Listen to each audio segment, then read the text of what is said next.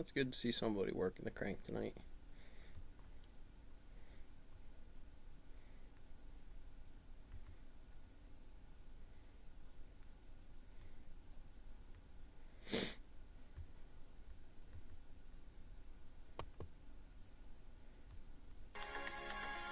Welcome back. Amid the great resignation and a tight labor market, workers' negotiating power has Looking never back been you, stronger. To ask for a raise, here with tips on how to go about it is Kimberly Schneiderman, Randstad Rise Smart Career Coach. Kimberly, thanks so much for being This here. is the You say one, the no, key um, is to be This is your prepared Hardwood when you go Graders into that meeting. Association So, right what are the, here. some I'll of the show you the that we should be Sophie, doing Sophie to make sure we are queen prepared? spot here in a minute.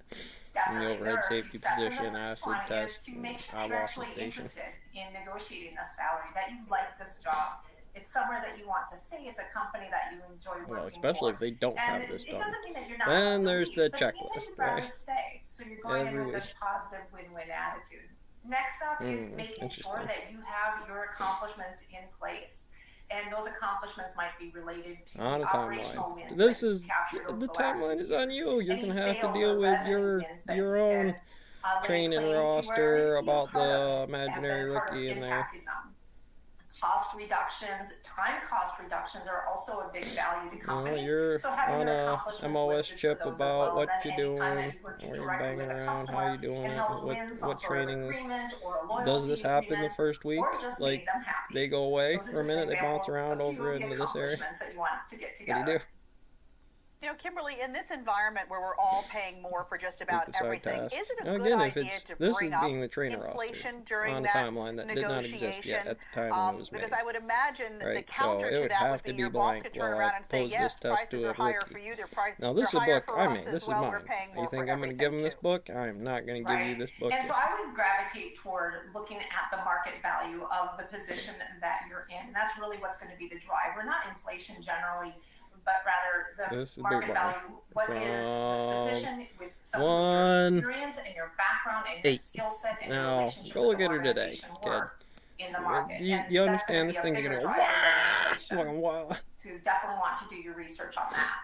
So this is me watching you for a good long Kimberly, little while. there are just Same way I'm watching some of the other. We'll get to it. We'll get to a it. dime a dozen, and it's quite easy Some of the industrial sectors, your you if you don't 5G, want to work at that your what are you're Even gonna name that bishop so the tonight? The, resignation and a tight labor market. the other systems. Uh, a having a few of these again. This is a big. This is a we have other people who kind of this for less. different. How do you position yourself then? You know, models. Well, Uh, Tesla back in. And you definitely want to look at 05, the uh, relationships 15, that you have 21. internally. And Imagine being there. Imagine being there today. Looking at it from here. Okay, well, that that's a thing. have of the company Labor and the- force was probably in there. One of the hydrogen gambits we'll be getting into here in a minute. And at the same time, you're also thinking about what you can do next for the organization.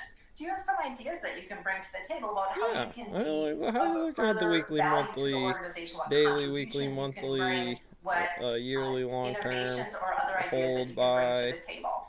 Uh, Is it an S&P 45? What about when it Look like comes to triple an goat mouth actual and does dollar it play amount? like I that think on that's some when it guys' starts books? to get a little bit tricky for folks. I mean, You know, sh- coming you at which we hear accent, that which during sheet, a, a job interview, you shouldn't necessarily or tell or them what it is you're thinking about in terms pop- of uh, popping up on the salary range. So Sure, once so you have the job and now you're had a handy negotiating 10 a better salary, 10 to the should you go in there and say, you know, this is what I'd like to be well, earning, if or do you do particle yourself a disservice on by the, giving them uh, an what exact they call number? their mass spectrometer. No, our advice is that you do have a number in mind, and Hmm. that will help cut to the chase of exactly The what you're square looking pile for. theory. And the best way to go about that is to do that market be research so you know out. that what you're Uh, asking lock for brother out, a, a S order on P order in a the company to program and my of a salary button toggle switch. X dollars or X percent, or I'm asking for an XYZ type of benefit to This my employment here. You might not be a salary. Here's the heat, light, and sound of the experiment you make me conduct in this field. Camp 1, Camp 2, Camp Lejeune, the baby, the bathtub, the labor pains, the metrics, uh,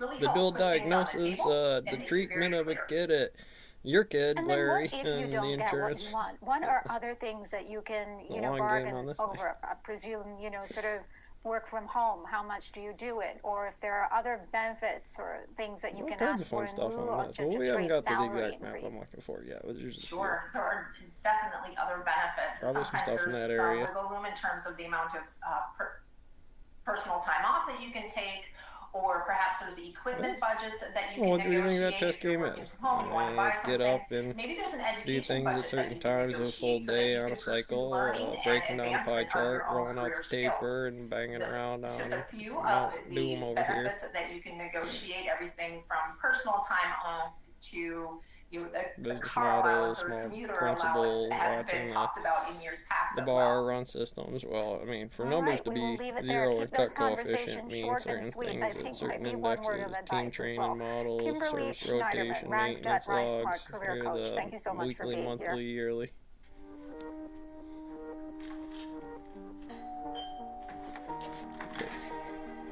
Cave digging. You can save an average of two times more